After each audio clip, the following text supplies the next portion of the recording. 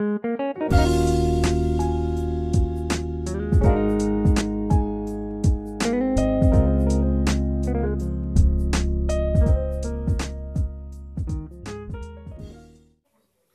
my dear students, in this video we are going to study chapter number 11 called pointers. Let us have introduction.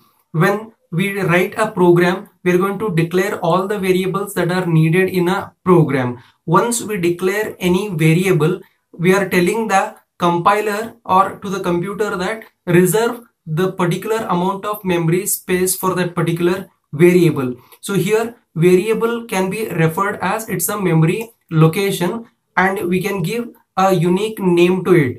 And this unique name can be identified with the help of its unique number. So that unique number is called as address of that particular memory location now let us study the advantages of using pointers. The first advantage is it is possible to write efficient programs. And the second one is memory is utilized properly. And the third one is dynamically allocate and deallocate memory. And the fourth one is easy to deal with the hardware components. And the fifth one is establishes communication between program and data. Now we'll study memory representation of pointers before we understand what you mean by pointer it is very important to understand that how exactly the memory is organized here memory is organized in a consecutive order or in a consecutive way so that is consecutive bytes so here byte is a basic unit of storage where the data can reside physically. So here each byte is identified by a unique number called its address. The data can be fetched out of that particular memory location with the help of this unique identification number called address. Suppose we have 1 KB of memory. So that is 1024 bytes is equal to 1 kilobytes of memory. So it is organized in a consecutive sequential order that is ranging from 0 to 1023 consecutive memory locations. So here the first location is 0 and the last location represent 1023. We know that all the variables must be declared before using them in a program. So this declaration of variable tells the compiler the following things. The first one is allocate memory location for that variable and the second one is establish the relationship between that memory location and the name of the variable. Now let us consider one example. Here we are going to write int num and in a picture you can see that it is going to allocate 2 bytes of memory with its address. Now let us study the definition of pointer. Pointer is a special variable that holds the address of another variable. Declaration and initialization of pointer. So let us study the general syntax. Here you can see data type and then we are going to write asterisk symbol and then we are going to write variable name and put semicolon. Now let us declare with different data types. Here we are going to write int star iptr then char star cptr and then we'll write float star fptr and so on. So let us initialize the variable. How exactly we'll be able to initialize? Here let us take one example int num and then int star iptr. iptr is equal to ampersand of num. So here num is the variable whose address that is using address of operator that is ampersand operator is initialized to iptr. The address of num variable is initialized to iptr that is pointer variable. And the next operator is indirection operator that is asterisk symbol. So here asterisk symbol represent the value stored in a particular memory location pointed by the pointer. Now let us take a small programming example to show how exactly the address of that is ampersand and indirection operator that is asterisk symbol works. For that I will take you to my laptop screen. Here in this uh, you can see we'll use both ampersand and indirection operator.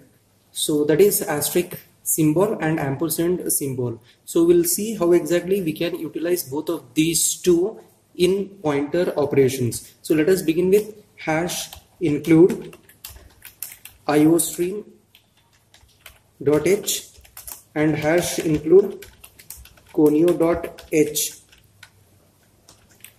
and then we'll write void main curly open brace here we are going to declare three variables first I'll write int var Next, I'll declare pointer variable that begins with asterisk symbol star ptr and one more variable called value.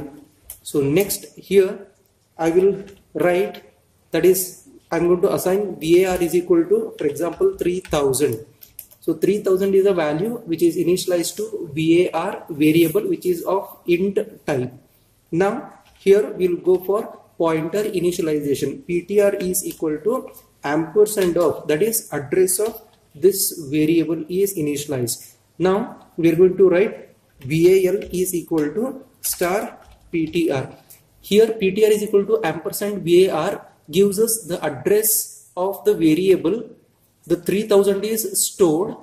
That will be initialized to ptr and val is equal to star ptr gives me again 3000 so whenever we use the indirection operator that is asterisk symbol it returns the value stored in the variable. And now here in this case it is initialized to val variable. Now let us display the result. So here please note the address of the variable will be different from the different computer systems okay? So even it could be different within the same computer system as per the availability of that particular memory location.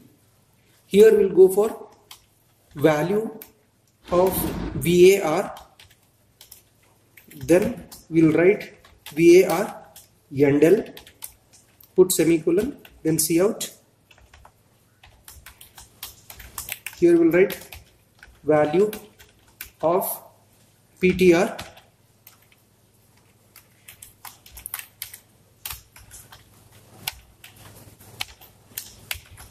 endl cout value of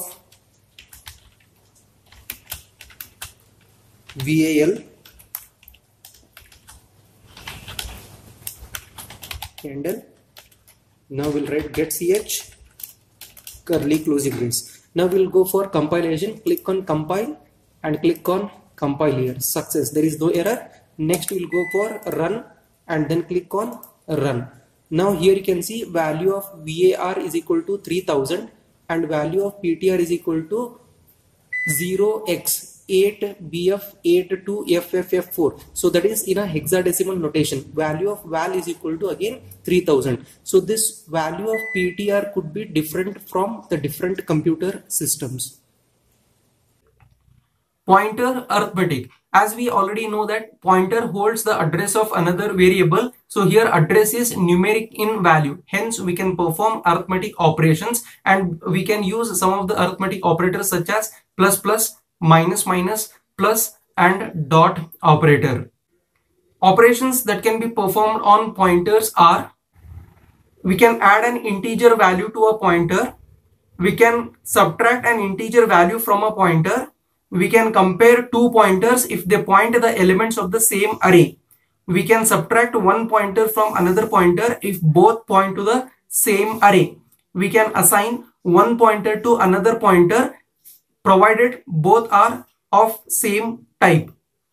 And the operations that cannot be performed on pointers. Addition of two pointers, subtraction of one pointer from another pointer when they do not point to the same array multiplication of two pointers, division of two pointers. That's all in this video. Thank you very much for watching this video. We will see you in the next video.